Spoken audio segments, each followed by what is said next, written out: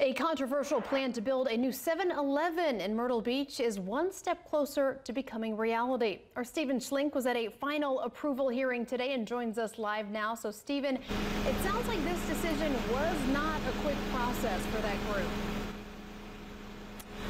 Good afternoon, Rachel. Yes, I would not use the word quick to describe it. The Community Appearance Board spent quite a bit of time on this project today, going through the ins and outs of what it would bring. In the end, they approved most of the project, but neighbors tell me they still have some concerns about safety in the area. I'd like to see what the true outcome will be and how everything comes together.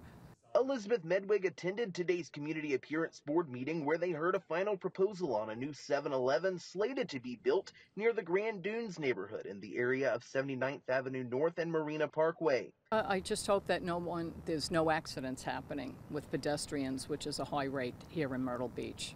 So that concerns me greatly. Medwig and many of her neighbors have raised concerns about safety and what the 7 Eleven could do to the environment since it would be near a greenway. She voiced those concerns during the final approval meeting today. And I think they all felt that they were concerned as well, but that they are taking every precaution that they can do to make sure things will be done safely. The board requested some changes be made to the plans last time the proposal was heard. Some of those changes will help traffic flow in and out of the gas station, which is something a spokesperson for the developer noted during today's meeting. The second access, we did reduce that down to 30 feet.